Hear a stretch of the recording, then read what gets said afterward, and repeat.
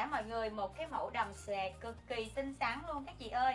Chất liệu của nó là bằng vải Volter nha. Sẽ có hai tầng cho các chị nè. Và cái cái cái đầm này nó sẽ có hai lớp phía trong. Mặc rất là dày dặn luôn các chị. Khi các chị mặc vô cái phong xòe này nè, màu sắc cũng cực kỳ lạ luôn. Cái này là màu cam nâu nâu một tí xíu các chị. Mặc lên rất là trắng da.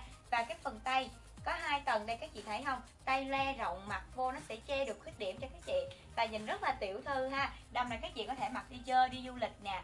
À, đi biển cũng rất là đẹp luôn. Em sẽ phối một cái túi sách cho các chị coi ha. Và đầm này bên em về có một màu à nhưng mà nó sẽ có size. Những chị nào khoảng 57 58 kg là mặc vừa hết nha các chị nha.